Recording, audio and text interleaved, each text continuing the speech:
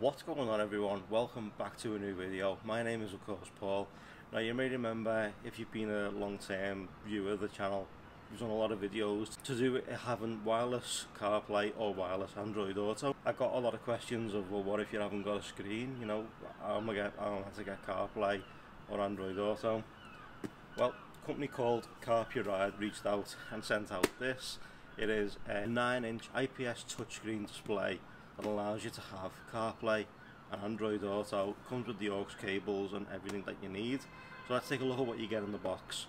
We'll get it fitted into the car. I know I've already got a screen, but I'll take me and me CarPlay out completely off my screen and we'll put it into this one and we'll see just how good it is having one of these in the car if you don't have a screen. Okay, so now I don't have me trusty unboxing knife with me because obviously I am outside. So I've got my keys, so let's just see if we can get this open. So now what you've got on the front says HD display, 9 inch IPS touchscreen display, Bluetooth, USB, TF audio, video, voice controls and a USB charge port. In-vehicle multimedia solutions, you got phone link, FM transmitting, 1080p HD touchscreen display, SD card, rear view camera, voice controls, AUX and USB, on this side some of the main features of the unit itself. So you get a mount 3M adapter that you can mount to your dashboard. Connection to keep it charged up and keep it on obviously when it's in the car. A screen mount so you can place this on your windscreen. AUX cable for your audio. Now this card doesn't have an AUX solution because it's got USB in it. You get the small circle for mounting to your dash and your CarPuride manual as I said, it is a 9 inch IPS touchscreen panel.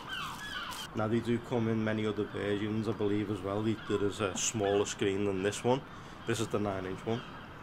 So ports on the side for your SD card, your AV out, cam in, USB, your power adapter and nothing on the other side. Power button on the top right here. Let's go ahead and get it all set up in the car and we'll see exactly what it's like. Get my phone connected to it. Okay, so ignore my screen, pretend this is in here and this would be here in place of that. So now this is what you've got. This is what your interface is going to look like. You've got iPlay, A-Auto, AirPlay, so I'm assuming you can transmit stuff from your phone straight onto this rather than using CarPlay. Auto link, your EQ settings, Bluetooth, USB, your SD card, FM transmitter, and your settings, so which English, device speaker, right drive, restore factory settings, system version. You come down, Android wired link, Android uh, iPhone wired link, so you can just plug your phone straight into these as well. You've got Wi-Fi and video warning, park line, park line setting, and a rear camera mirror, so you can have different connections going to this. So what you're going to find as well is you're going to find a link in the description down below to where you can pick one of these up for yourself. These would be perfect for if you drive maybe a van that doesn't have CarPlay and you know you want to be able to use your normal sat nav rather than killing the battery on your phone. Connected up to this. You've got your brightness. You can have different backgrounds. So as you can see cycle through. And you can go back. You can go obviously the home button. You got your audio where you want it. it tells you the time. You got your bluetooth and stuff like that. What you're going to be able to do is you're going to be able to find a link in the description to CarPuride's website with a 15% off discount code to where you can pick up anything site wide with 15% off. You'll find that in the link in the description down below. What I'll do is I'll show you Android Auto working first. So if we go ahead and do this, as you can see it is a wireless connection. So if we go ahead, go to Bluetooth. So I'm using the S23 Ultra.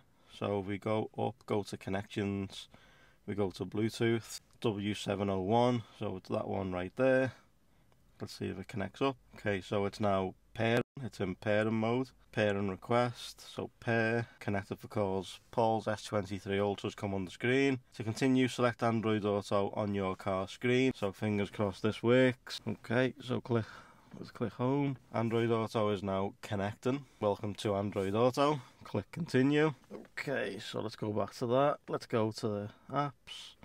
There's all the apps that you can use. WhatsApp, no Waze at the minute though, so that's a bit concerning. But okay, never mind. So there's the settings, show conversations, etc. You know all the usual day night mode for maps. Google Maps needs location. As I use Waze, I haven't really used Google Maps on this phone yet, but I will sort that out at some point and show you it all working. But this is playing Spotify. Now it does have an inbuilt speaker. I can't really play much without getting copyright striked, so play a little bit of this maybe.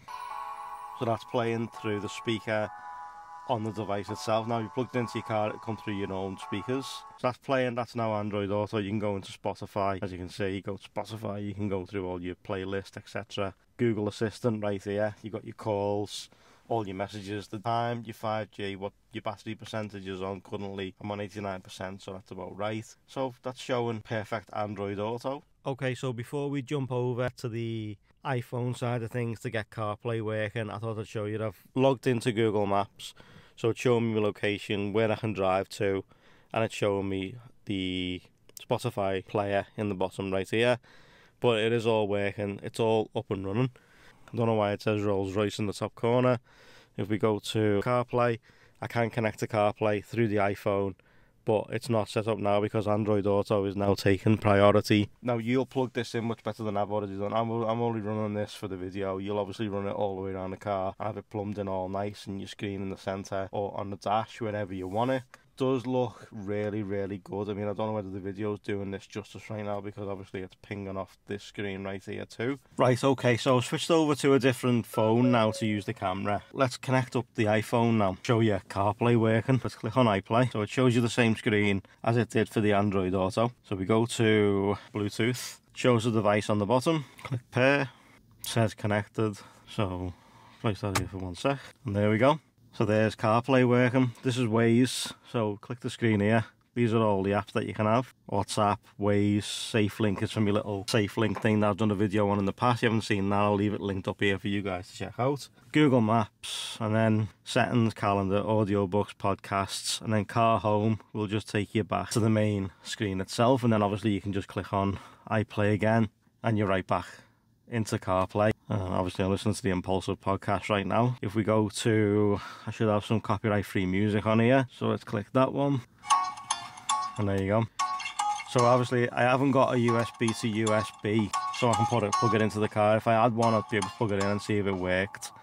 But I haven't actually got a USB to USB.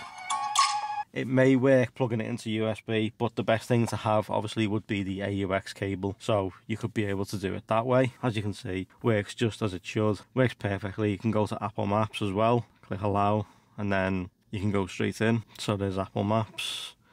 I'll show you Google Maps as well. This still does have a screen protector on it. I haven't actually took it off as you can see. That's why there's a bump just here, as you can see. Works just as it should. You've got Waze, you've got your search for Waze and whatever you're listening to on the bottom right here. But that is now also CarPlay working too on the screen. So go to brightness. Brightness is a full percent. Still got a fair bit of audio that I can do, so I have it come through the main screen itself. And I can just click this and go back to CarPlay. Let's plug in the iPhone. It's also charging as well. And there we go. So this is a wired connection for Apple CarPlay or Android Auto through the screen. So you haven't got to have it wireless, you can have it plugged in. So there it is, there's wired CarPlay. Let's go car home again. Let's unplug this now. So AirPlay, you can AirPlay the same screen. So what I've found is the AirPlay, there's a bit of faffing about to do with the AirPlay side of things. But I mean, it, it will work, you can get it to work, but it does seem to be a bit of a faff to do it. Especially if you've already got CarPlay connected and stuff like that. Using an AirPlay, you'd have to disconnect everything, you know, turn everything off on your Bluetooth, etc. You know, turn all that off. Make sure CarPlay's not connected, and then literally try and get it to connect to the AirPlay, as you can see. But I mean, for some reason, it just it will not start playing like it should. Thinking of getting a mortgage. So yeah, all I can get to do is I can get it to play audio through AirPlay but I can't get it to play video through AirPlay. So there's that to think about. But you can put a USB in the side of it. You can put an SD card in with movies or music on, etc. You can do it through that. You just got Bluetooth audio and then your EQ. You know, you can change all this as well. Change all your EQ, standard, classical, jazz, electric, soft, custom, standard again. Loud, you can turn loud on. So let me go back to, let me turn CarPlay back on and we'll see if loud makes any difference just before we end the video. Let that all connect up. Music. And let's see if it makes any difference. Yeah, it's a fair bit louder.